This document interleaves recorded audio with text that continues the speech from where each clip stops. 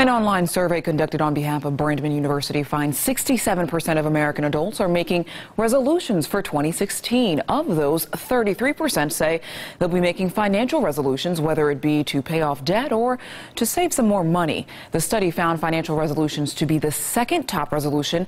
The top spot goes to weight loss and more exercise. Have you decided yet on your resolution? Are you making one? Um, I decide. I, I don't know yet.